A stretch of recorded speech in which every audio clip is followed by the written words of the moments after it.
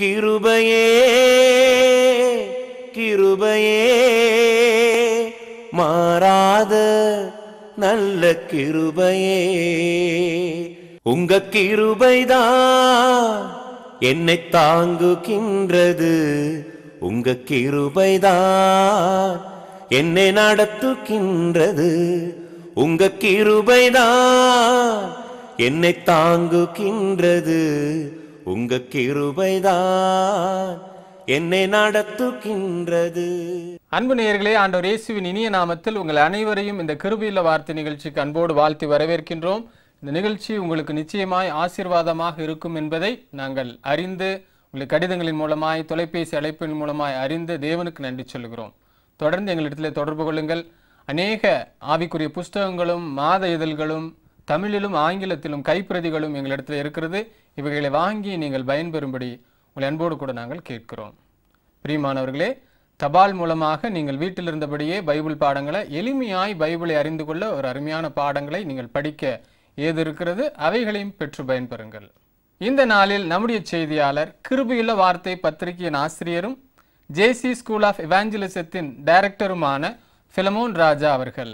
அன்பு நேர்களே நீங்கள் மதுரையில் இருப்பவர்களானார் எங்களுடன் சபையில் சேர்ந்து ஆராதிக்க உங்களை அன்புடன் அழைக்கின்றோம். எங்களுடைய சபை ஆராதனை நேரங்கள் ஞாயிறு காலை ஒன்பது முப்பது மணிக்கும் மாலை ஆறு முப்பது மணிக்கும் மற்றும் வேத ஆராய்ச்சி புதன் மாலை ஆறு முப்பது மணிக்கும் நடைபெறுகிறது.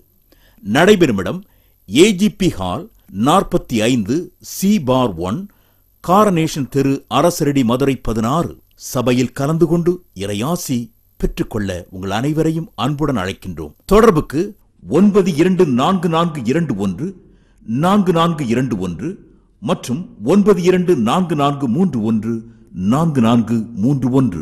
பிரியமானவர்களே ஆண்டவராக இயேசு கிறிஸ்துவின் நாமத்தில் உங்களை வாழ்த்து இந்த கிருபில வார்த்தை நிகழ்ச்சிக்கு வரவேற்பதில் மகிழ்ச்சி அடைகிறேன். அருமையானவர்களே எக்லீஷியா என்ற வார்த்தை கிரேக்க மொழியிலே பயன்படுத்தப்பட்டிருக்கிறது. ஏன் கிரேக்க மொழியிலே பயன்படுத்தப்பட்ட இந்த வார்த்தையை பற்றி பேசுகிறேனே என்றால் நீங்கள் எல்லாரும் உங்கள் பைபிளை திறந்து பார்த்தீங்கன்னா புதிய ஏற்பாட்டில் முத பக்கத்தை நீங்கள் பார்த்தீங்கன்னா ஆண்டவராகிய இயேசு கிறிஸ்துவின் புதிய ஏற்பாடு அப்படின்னு போட்டுட்டு கீழே மூல மொழியாகிய கிரேக்க மொழியிலிருந்து மொழிபெயர்க்கப்பட்டது. நம்முடைய தமிழ் தெலுங்கு இந்த பைபிள் எல்லாம் ஆங்கிலத்திலிருந்து தமிழுக்கு மொழிபெயர்க்கப்பட்டதல்ல. மூல மொழியாகிய கிரேக்க மொழியிலிருந்து மொழிபெயர்க்கப்பட்டது. கிரேக்கம் அந்த காலத்தில் ரொம்ப புகழ்வாய்ந்த மொழி. இப்போ எப்படி ஆங்கிலம் நிறைய ம- நாட்டு மக்களுக்கு தெரியுமோ அதே போல் கிரேக்கம் அந்த காலத்தில் பிரபலியமாக இருந்தது. அந்த மொழியிலே இருந்து நமக்கு கிடைத்தது தான் இந்த புதிய ஏற்பாடு. அப்போ புதிய ஏற்பாட்டில் நமக்கு ஏதாவது விஷயம் சரியா புரிஞ்சுக்கல.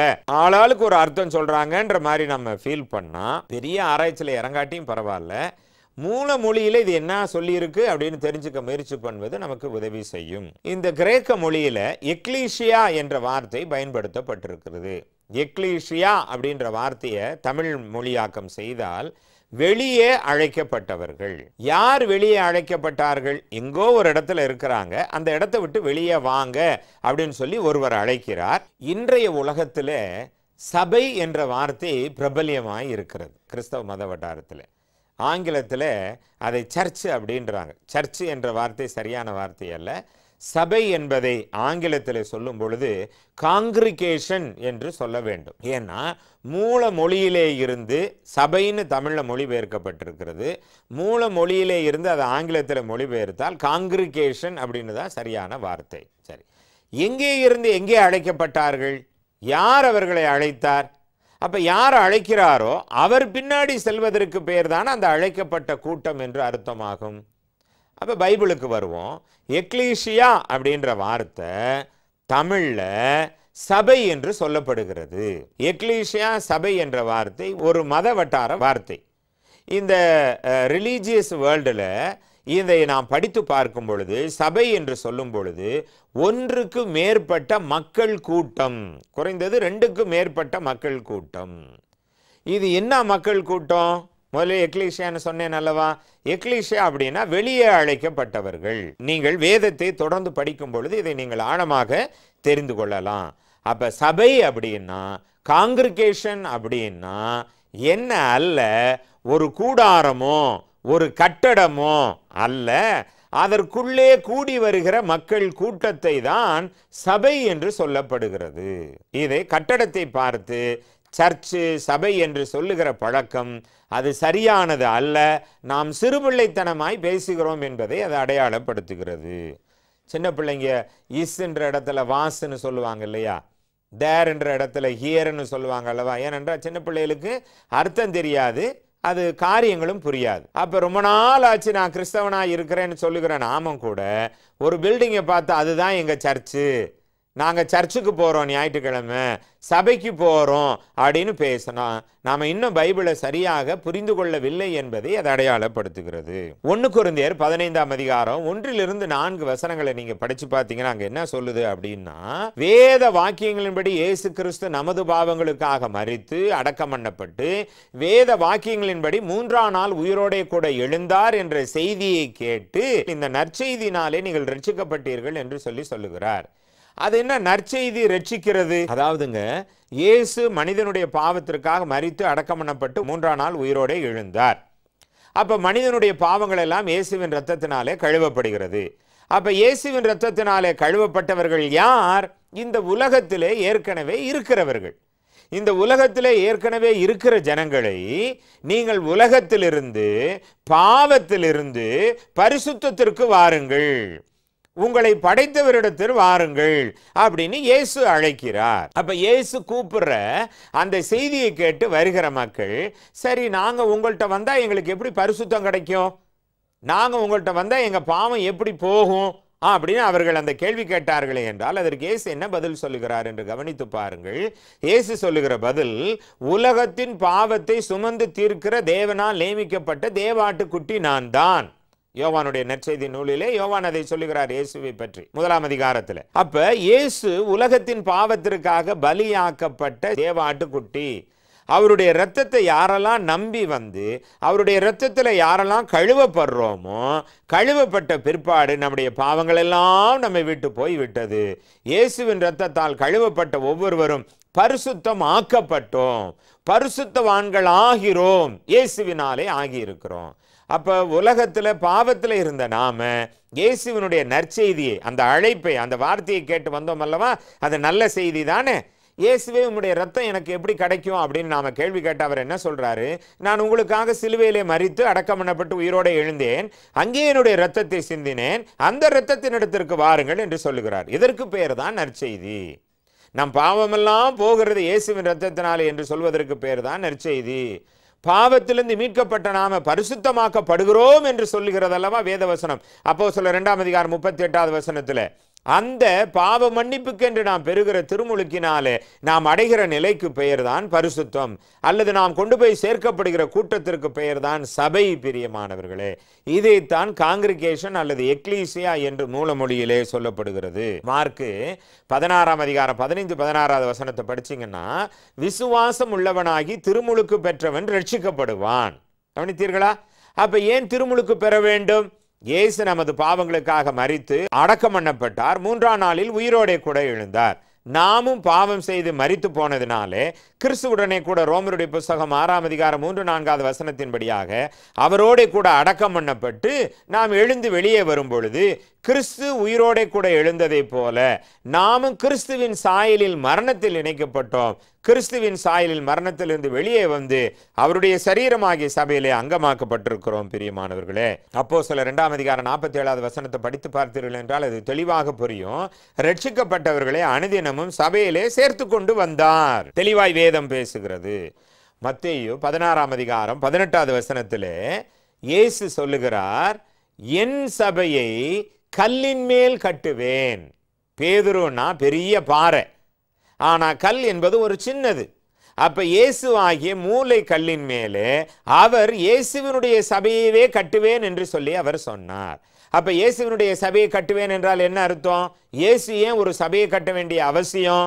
மனிதர்களுடைய பாவங்களிலிருந்து மனிதர்களை மீட்டு யாரெல்லாம் மீட்கப்பட்டார்களோ யாரெல்லாம் ரட்சிக்கப்பட்டார்களோ யாரெல்லாம் திருமுழுக்கு பெற்று இயேசுவினுடைய இரத்தத்தினாலே கழுவப்பட்டு பரிசுத்தத்தை பெற்றுக்கொண்டார்களோ அந்த பரிசுத்தமானவர்களெல்லாம் ஒன்று சேர்த்து வைக்கின்ற ஒன்றாய் இருக்கிற அந்த கூட்டத்திற்கு பெயர்தான் சபை. அப்படி ரட்சிக்கப்பட்டவர்களை கொண்டு ஒரு சபையை கட்டுவேன் என்பதைத்தான் மத்திய பதினாறாம் அதிகாரம் பதினெட்டாவது வசனத்திலே அவர் தீர்க்க தரிசனமாக சொல்லியிருக்கின்றார்.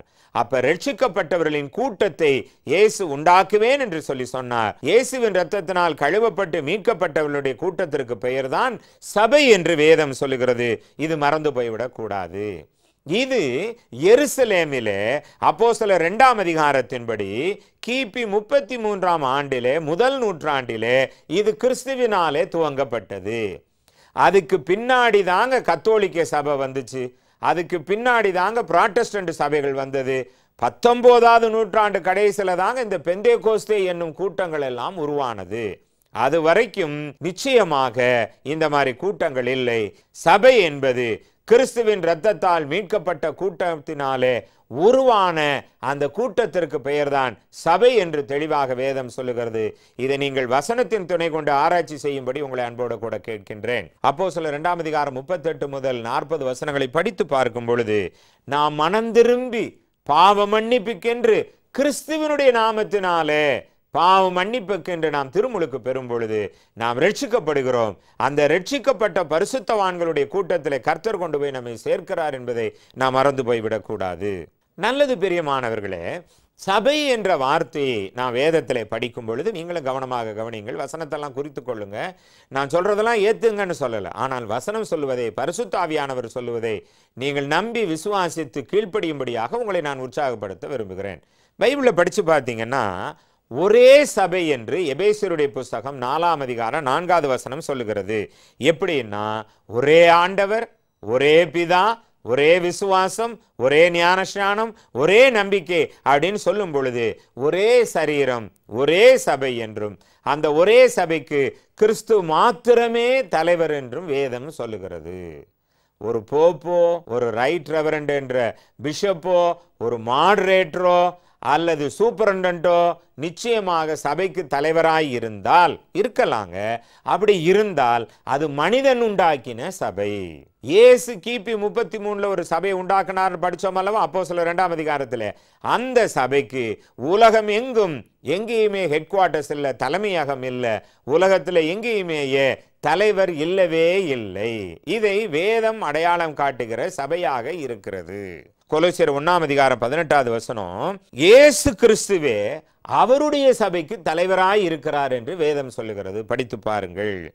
எபேசியர் ஐந்தாம் அதிகாரம் இருபத்தி மூணாவது வசனத்தில் ஒரு கணவனுக்கு ஒரு மனைவியை போல ஒரு மனைவிக்கு ஒரு கணவனை போல கிறிஸ்து என்னும் மணவாளனுக்கு அவருடைய மணவாட்டியாகிய சபை ஒன்றுதான். அந்த ஒரே ஒரு சபைக்கு இயேசு மாத்திரம்தான் தலைவர்.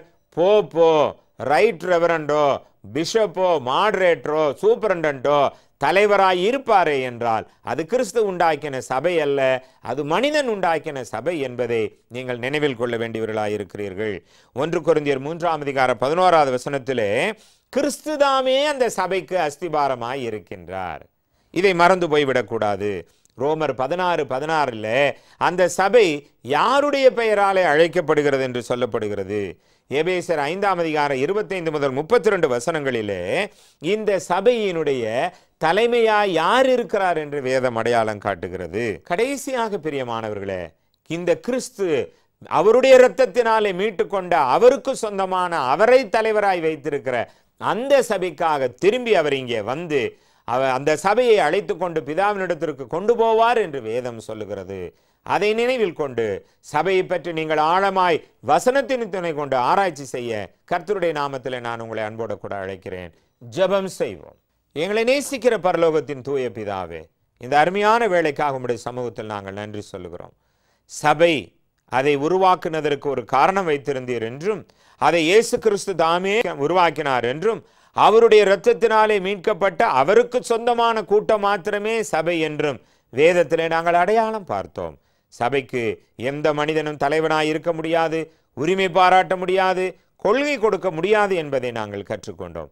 இதை ஆழமாய் தெரிந்து கொண்டு நாங்கள் நிச்சயமாய் தேவனுடைய திட்டப்படியான பிதாவினுடைய விருப்பப்படியான கிறிஸ்துவனுடைய சரீரமாகிய சபையில் அவரால் சேர்க்கப்பட்டு ஆசீர்வாதமும் ஆவிக்குரிய ஆத்மீக விடுதலையும் பெற்று வாழ எங்களை பலப்படுத்த வேண்டும் என்று இயேசு கிறிஸ்துவின் நாமத்தினாலே ஜெபிக்கிறோம். ஜீவனுள்ள பரலோகத்தின் தூய பிதாவே. ஆமென். என்ன நேயர்களே இந்த நாளின் செய்தி உங்களுக்கு பிரயோஜனமாக இருந்திருக்கும் என்று நாங்கள் நம்புகிறோம். தொடர்ந்து இந்த நிகழ்ச்சியை வாரம் தவறாமல் இதே நாளில் இதே நேரத்தில் பாருங்கள். இந்த நிகழ்ச்சியின் மூலமாய் உங்களுக்கு பெறக்கூடிய ஆசீர்வாதங்களை எங்களிடத்தில் பகிர்ந்து கொள்ளுங்கள். உங்களுடைய ஜெப விண்ணப்பங்களையும் கருத்துக்களையும் எங்களிடத்தில் பகிர்ந்து கொள்ளுங்கள். தேவன் தாமே உங்கள் அனைவரையும் காத்து வழி நடத்துவாராக. வேதாகம கல்லூரியில் படிக்க இயலாதவர்களுக்கு இலவச அஞ்சல் வழி வேத பாடங்கள் எங்களிடம் உண்டு. மேலும் கிருபையுள்ள வார்த்தை இம்மாத இதழ் படியுங்கள். The Voice of Truth international English magazine available உங்களின் தெளிவான விலாசத்தை எழுதி அனுப்ப மறவாதீர்கள். எங்கள் முகவரி கிருபையுள்ள வார்த்தை தபால் பெட்டி எண் பதினைந்து அரசரடி மதுரை ஆறு இரண்டு ஐந்து பூஜ்ஜியம் ஒன்று ஆறு.